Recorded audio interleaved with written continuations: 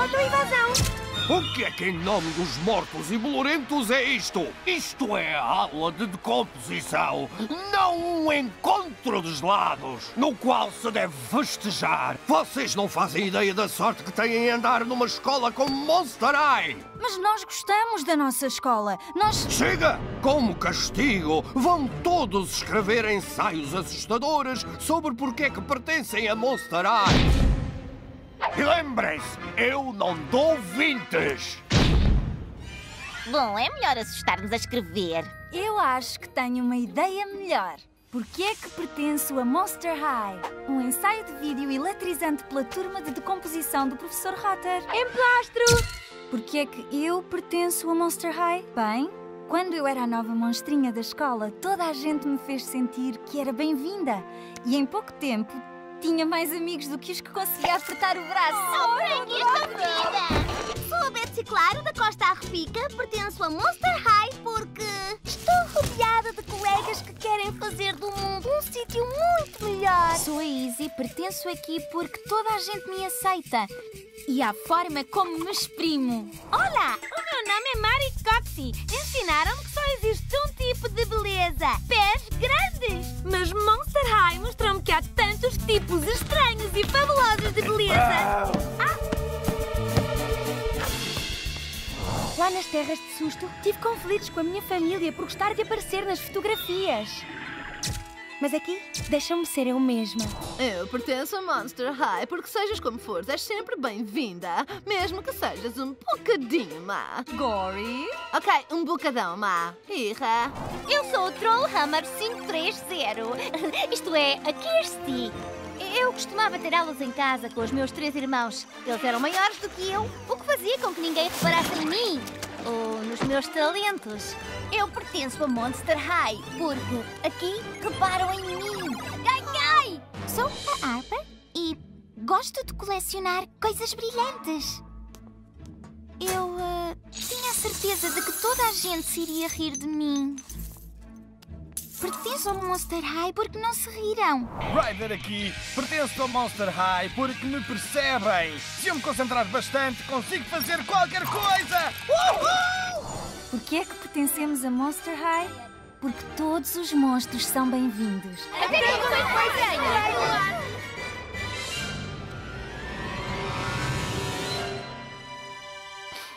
Vinte! Vinte para todos! Emplastro! Convocando os monstros.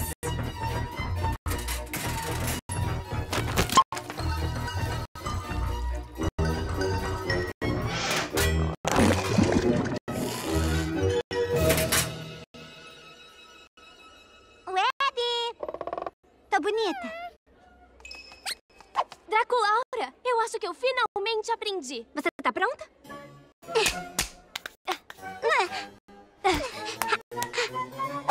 Ah, eu não te falei que aprendi? Claudine, você é provavelmente a única lobisomem do mundo que sabe fazer um cumprimento de vampiro. Rápido, monstrinha. Hora da aula de História dos Monstros. Draculaura, Claudine, aqui ó, eu guardei um lugar pra vocês. Muito bem, alunos. Creio que todos fizeram a leitura que pedi sobre famílias reais de vampiros através da história, correto? Ah, professor Drácula, olha, eu não consegui ler o livro porque eu, sem querer, levei pra casa o livro de história do Dilce. Ai, nem eu, porque eu tava com o livro do Rafe. Bom, os alunos que leram o livro vão poder participar do debate sobre a história da família real Vambate. Eu não consigo nem imaginar como deve ser fazer parte de uma família tão poderosa. Como euzinha sou uma herdeira real, eu posso te contar. É maravilhoso. As pessoas fazem tudo o que você quer, te dão presentes. Eu recomendo muito. Papai, ah, professor Drácula, os vampiros vivem por centenas de anos. Será que não pode haver algum membro da família Van Bat que ainda esteja vivo por aí? Excelente pergunta, Draculaura, mas dizem que toda a família Vambate desapareceu quando os humanos chegaram na Transilvânia. E os rumores sobre uma princesa Vambate secreta? Eu acredito que são apenas isso, rumores. Se houvesse uma princesa Vambate morando na Transilvânia, tenho certeza que saberíamos. Mas e se os rumores forem verdadeiros? E se ela estiver mesmo por aí, deve estar sozinha. Talvez possamos usar uma pá mapálogo monstro pra encontrá-la. Peraí, o mapa o quê? O mapálogo monstro. Ele pode localizar qualquer monstro do mundo. É só dizer o nome do monstro que você quer encontrar e pum! O mapálogo vai te teletransportar direto até ele. É o que a Draculaura usou pra me encontrar. E a Cleo. E basicamente todos os alunos daqui. Se tem uma princesa Vambat por aí, ela merece saber que seria muito bem-vinda aqui na Monster High. Eu aprecio sua preocupação, Draculaura, mas mesmo que exista uma princesa, não sabemos o seu primeiro nome. E sem o nome completo do monstro, o mapálogo não poderá encontrá-la. Bom, vamos passar para os fantasmas e espíritos notáveis do final do século XVI.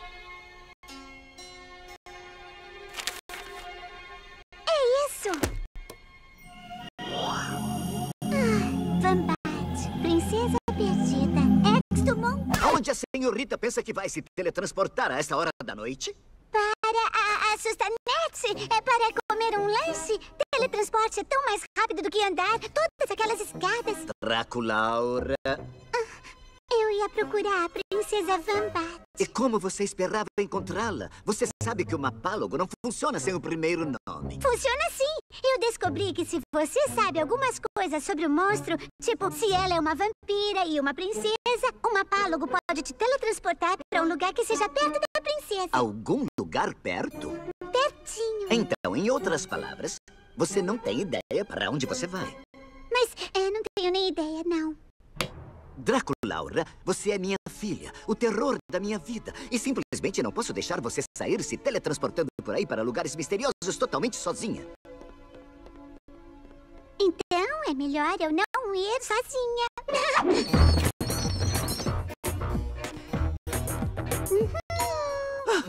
O que é isso? Por que estão sorrindo? Você disse que não poderia procurar a princesa Vambat sozinha. Bom, como pode ver, eu não tô mais sozinha. Sorriam de novo. Draculaura? Pai, essa é a equipe de monstrinhas mais talentosas e dedicadas que eu conheço. A Frank é muito inteligente, a Laguna é super atlética e a Claudinha é feroz e determinada. Eu sou todas essas coisas e também eu sou eu mesma. Pai, lembra como a nossa não vida era antes de criarmos a Monster High? Eu era sozinha e ficava trancada no meu quarto sem outros monstros pra conversar. Mas agora temos um lugar pra chamar de nosso. Se existe uma princesa vampira, então ela provavelmente está sozinha como eu estava e merece saber que tem uma escola inteira de monstros esperando pra acolhê-la. Ela é boa. Mas vocês prometem que vão cuidar umas das outras? Sim! Que irão usar capacetes e coletes salva-vidas e protetor solar quando necessário? Sim! Tudo bem, podem ir. Mas primeiro precisamos pesquisar. Ah. Ei, eu disse que podem ir. Fiquem animadas para a pesquisa. Oba, pesquisa! Eu reuni tudo o que nós temos sobre a família real Vambat. Onde viveram, histórico da família, último lugar que moraram. Que organizado. E tem aquele cheirinho de livro novo. Os Vambates viveram na Transilvânia por séculos. Provavelmente é para lá que o mapálogo vai levar vocês. Mas lembrem-se, talvez ele leve vocês para algum lugar estranho. Então fiquem alertas. Alguma pergunta? Sim, resgatar uma princesa vampira perdida vai contar como crédito extra, porque a minha nota em ciência maluca está precisando de um acréscimo. Uh, você é responsável por isso.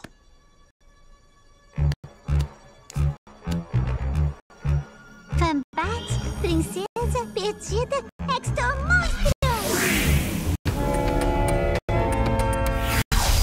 Conseguimos!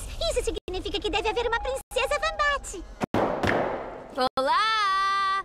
Princesa Vambat? Peraí, esse castelo sem dúvida pertenceu aos Vambates. Olha. Ah, mas o que é isso? Tá aí na porta. Esse é o brasão da família Vambat. Ou parte dele. Tava na pesquisa do professor Drácula. Vocês não leram, não? Dei uma olhadinha. Ah, valeu, pai. Ah, olha só esse lugar. É como voltar no tempo para outro século.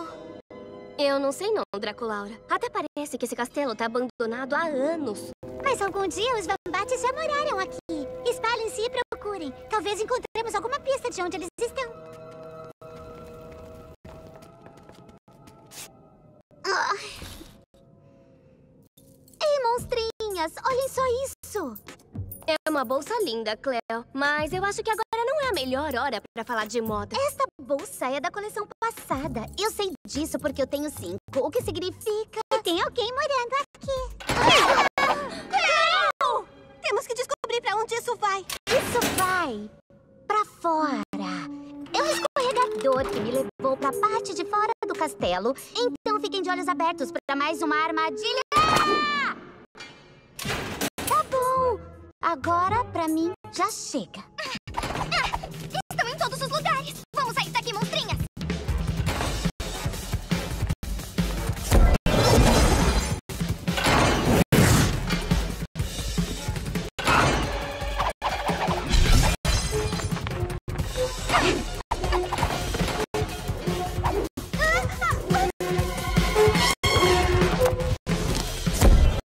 Alguém realmente não quer que a gente fique aqui. Isso não faz sentido nenhum. Eu sou bem recebida onde quer que eu vá.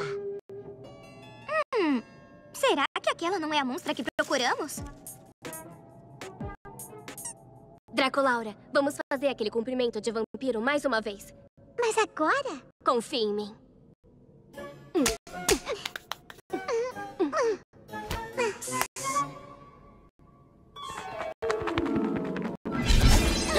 Só vampiros sabem como fazer este cumprimento. Onde você aprendeu? É que a minha melhor amiga aqui é uma vampira. Espera! Você é amiga de uma lobisomem? Como isso é possível? Bom, as coisas são assim na Monster High. Monster High?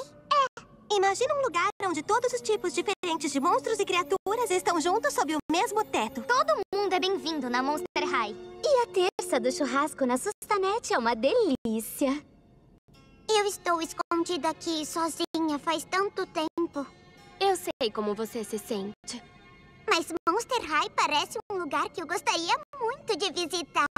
E desculpem por assustar vocês com as armadilhas. Não esquenta, não tem problema. Certo, monstrinhas. Meu nome é Fangélica e eu estou pronta para conhecer Monster High.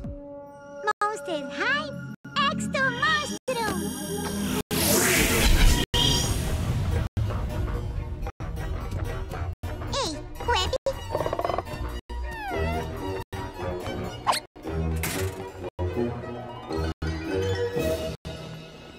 Que a nova monstrinha tá indo muito bem. ela tá sorrindo de canino a canino a semana inteira. Jamais vou poder agradecer vocês por me ajudarem a encontrá-la. Eu nunca teria conseguido sozinha. Ei, você sabe que pode contar com a gente sempre que precisar. Tem certeza disso? Porque achar a Fangélica me fez pensar. Deve ter milhares de monstros perdidos se escondendo por aí, esperando para serem encontrados. E se eu for procurar todos eles, eu vou precisar de toda a ajuda possível. É, temos que admitir. Somos uma equipe realmente fantabulosa. É, somos profissionais nessa arte de encontrar monstros. Ah, precisamos de um nome e uma música tema. Ai, e poses radicais de ação. Ah, talvez a gente deva começar só com o nome. Alguma ideia? Que tal? Esquadrão Monstro! Oh, Esquadrão Monstro! É sério, monstrinhas? Precisamos mesmo escolher uma música tema pra nós.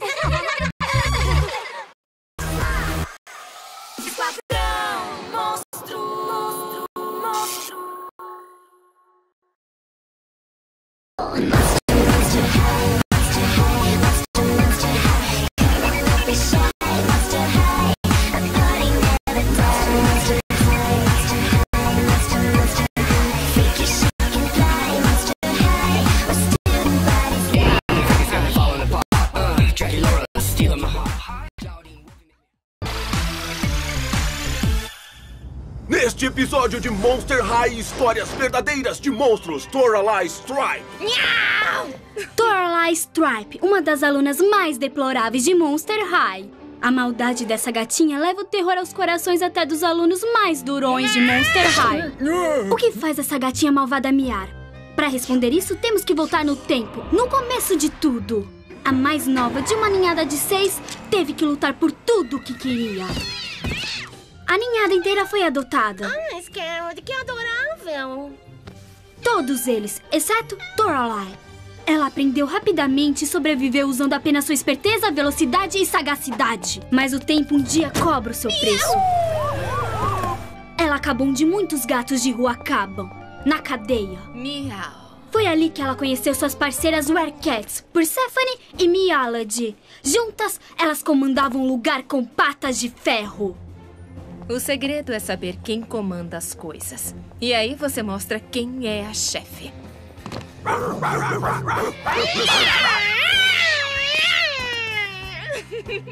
Tudo poderia ter ficado daquele jeito se uma certa diretora benevolente não aparecesse por lá. Meninas, eu dirijo uma escola chamada Monster High, um lugar onde podem aprender e crescer. Acho que é o lugar para vocês. Ah. Vou aceitar isso como um sim. Mas por mais que Toralai esteja feliz em Monster High, não se pode ensinar novos truques para um velho gato. Muito bem, a mesma regra se aplica. Vamos saber quem comanda e aí vamos mostrar quem é a chefe.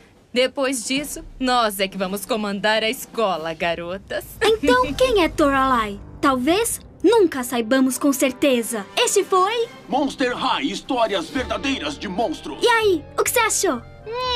Você tá brincando? Eu... Que gatinha! Você acredita em amor à primeira vista ou devo passar de novo? Hit! Derrubou seu caderno! Não, Voedu! Devagar! Ai, você é um boneco voodoo! Quando tá com alguma coisa de alguém, se você sentir dor, a pessoa vai sentir também. Foi mal. Tá tudo bem. Ai, aquele vodículo acabou de me dar uma catastrófica boa ideia. Eu tive que vir aqui falar com você. Nossa, uau! Você é realmente incrível. Eu devo estar sonhando. Pode me beliscar, por favor, mas eu não ia sentir mesmo. Tá bom, eu vou anotar o meu telefone pra você. Ah, será que pode pegar aquela caneta pra mim? Ah, beleza.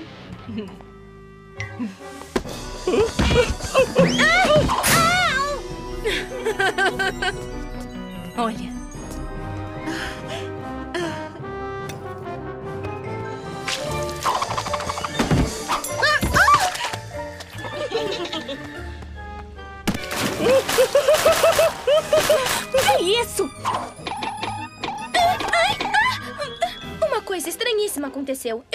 Como se tivesse milhares de agulhas me espetando. Eu também. Tem alguma coisa esquisita acontecendo por aqui. Falando de esquisitice, não é estranho que Toralai e Voedu estejam tão próximos? Voedu pediu meu livro de mordidologia emprestado e não devolveu ainda. Oh, Toralai! Ela usou o poder voodoo do Voedu pra nos torturar o dia todo. Meninas, tive uma ideia. Você tá afim que eu faça um teste pra equipe de mergulho? Esse é o melhor dia da minha vida. Toralai quer que você guarde o bracelete dela. Ela é tão meiguinha. Sabem onde está o Voedu? Eu não sei. Ah, ele tá treinando mergulho pelas próximas três horas. Ah!